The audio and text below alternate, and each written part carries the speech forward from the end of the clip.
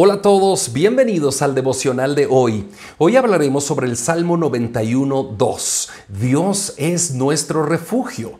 Espero que ustedes se encuentren gozando de las bendiciones de Dios en este hermoso día, pero si por alguna razón se encuentran atribulados, desesperados, angustiados, yo quiero que sepan que Dios es nuestro refugio. Eso lo vamos a estudiar en el devocional de hoy basado en el Salmo 91.2. Dios es nuestro refugio. Después vamos a orar para pedirle a Dios fortaleza para seguir adelante en este tiempo que nos ha tocado vivir. Bienvenidos todos, comenzamos con el devocional de hoy.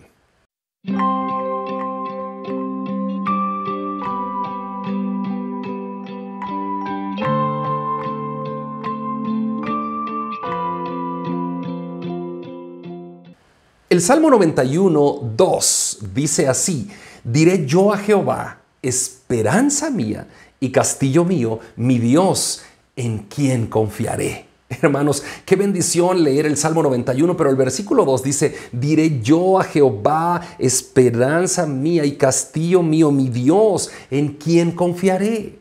Hermanos, este versículo el salmista está describiendo a un Dios y lo ve como un castillo, como una fortaleza, eh, como una seguridad, como una protección. Un castillo es ese lugar de refugio que nos libra de los ataques peligrosos del enemigo. En el refugio de David, en la cueva de Adulam, por ejemplo, en primer libro de Samuel 22, 1 al 2, se recuerdan cuando David estaba huyendo de Saúl y encontró esa cueva, ese refugio, donde muchos se unieron a David. Y así como David encontró seguridad en esa cueva de Adulam, en ese lugar físico, en ese refugio, nosotros encontramos también refugio en el Señor. El Señor es nuestro refugio, nuestro, nuestro castillo, nuestra fortaleza. ¿En qué áreas de tu vida estás necesitando tú un refugio en estos momentos? Yo quiero decirte que al igual que David, puedes acudir a Dios en medio de tus momentos más difíciles y puedes encontrar seguridad en la presencia de Dios. El salmista también menciona que Dios es nuestra esperanza, Él es nuestro castillo y nuestra esperanza. La confianza en Dios, hermanos, no solo es una creencia pasiva, sino que es una decisión activa de poder depender de Dios día a día, de tener esa esperanza de que Dios está con nosotros y estará con nosotros siempre en medio de toda circunstancia. La historia de la mujer con el flujo de sangre en Marcos 5, 25, 34. Por ejemplo, ella confió en que solo si tocara el manto, el borde del manto de Jesús sería sanada. Y dijo, si tan solo tocara el borde de su manto, seré sana. Y su fe la llevó a actuar, su fe la llevó a buscar a Jesús, a, meterse en medio de la multitud para encontrar a Jesús y tocar el borde de su manto. Y Dios la sanó. La fe en Dios nos impulsa, hermanos, a actuar, a buscar su ayuda, a crecer en el conocimiento de la fe en Jesucristo, en el conocimiento de la palabra de Dios y saber que Dios está con nosotros siempre, en todo momento. ¿Qué pasos puedes tú dar hoy para demostrar que confías en Dios? ¿Qué pasos puedes dar? Al decir, diré yo a Jehová, esperanza mía y castillo mío, mi Dios, ¿en quién confiaré?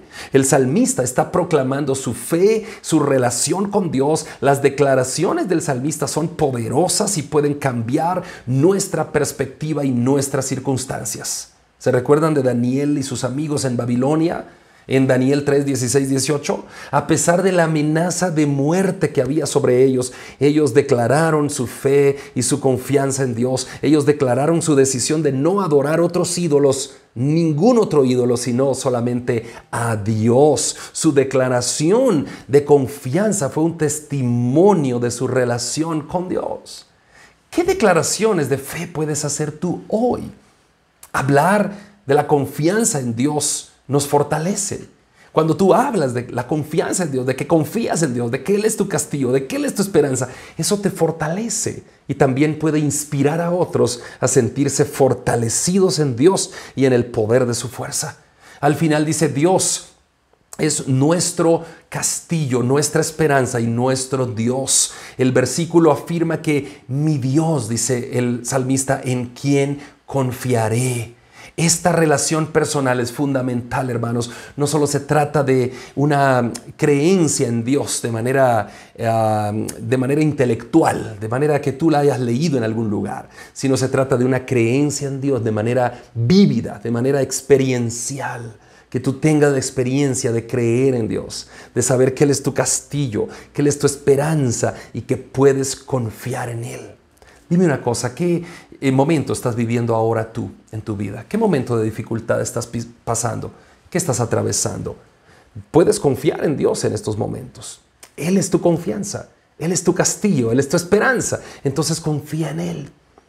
Deposita en Dios todos los problemas que pueden estar atormentando tu vida en este momento. ¿Qué problema es? ¿Problema de salud? ¿Problema económico? ¿Problema de relaciones? ¿Qué estás teniendo tú ahora como problema? ¿Por qué no oramos? ¿Te parece? Oramos. Yo te invito a ser de Dios tu refugio. Yo te invito a enfrentar tus situaciones con Dios, por muy difíciles que sean. Oremos. Padre nuestro que estás en el cielo, nos acercamos delante de tu presencia en el nombre precioso de nuestro Señor y Salvador Jesucristo. Gracias porque podemos confiar en ti en medio de cualquier circunstancia de vida, por muy difícil que sea, por muy tormentosa que estemos viviendo, circunstancias de salud tan graves, circunstancias que nos atormentan, que nos quitan la paz, porque estamos viviendo una salud deteriorada quizá en nuestro cuerpo. Señor, para ti no hay nada imposible. Tú eres mi esperanza, tú eres mi castillo, mi Dios en quien confiaré. Ayúdame a confiar en ti, Señor en los momentos más difíciles que me toque enfrentar, que yo pueda confiar en ti plenamente, que yo pueda saber que solo en ti encuentro la victoria, encuentro la liberación a esos problemas. Y hoy, Señor, te entrego mis enfermedades a ti. Señor, mira esa enfermedad que ha llegado a mi cuerpo. Está quitándome la paz, está angustiándome, está poniéndome en serias dificultades. Yo quiero que tú eh, seas mi libertador, el libertador de esa enfermedad. Que tú me sanes, Señor, si es tu voluntad. Tú eres mi esperanza, tú eres mi castillo, mi Dios en quien confiaré. Aquí te pongo, Señor, mis enfermedades delante de ti. Por favor, Señor, actúa en mi cuerpo. Actúa, Señor, de manera que pueda sanarme, si es tu voluntad. Aquí te pongo mis dificultades económicas. Señor, mira, Señor, cuánto he estado sufriendo por esas deudas, por esas situaciones complicadas. Ya no sé cómo salir adelante. Pero si tú me ayudas, Señor, yo todo lo puedo en Cristo que me fortalece. Ayúdame, por favor, te necesito. Aquí te entrego mis dificultades emocionales, Señor. Mira esas cargas emocionales que estoy viviendo, que estoy teniendo, que no las puedo resolver. Por favor, ayúdame tú. Señor, aquí te pongo en tu altar mis ansiedades, mis problemas eh, psíquicos, mis problemas de pensamientos, mis problemas, Señor, emocionales, que me quitan la paz, que me angustian. Algunas veces esas depresiones, ese estrés. Padre, aquí están mis ansiedades, mis angustias delante de ti. Yo te las pongo en tu altar. Ayúdame, Señor, yo solo no puedo. Yo solo siento que me voy a hundir, que cada día estoy peor. Pero si tú me ayudas, yo sé que todo lo puedo en Cristo que me fortalece. Tú eres mi esperanza. Diré yo a Jehová, esperanza mía y castillo mío, mi Dios en quien confiaré. Yo confío en ti, Señor, plenamente. Yo sé que tú estás en control. Yo sé que no me dejarás de un instante.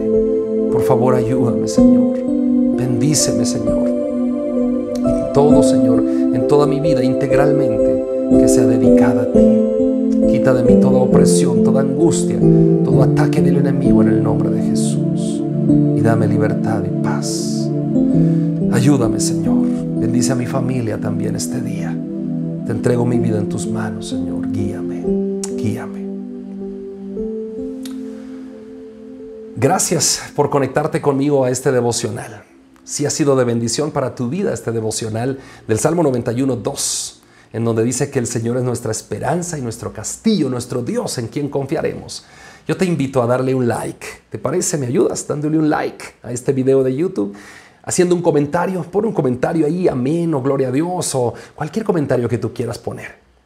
Y también te invito a compartirlo. En esa flechita de compartir, ahí puedes compartir este video con tus contactos para que juntos eh, recibamos esta bendición y edificación de la palabra de Dios.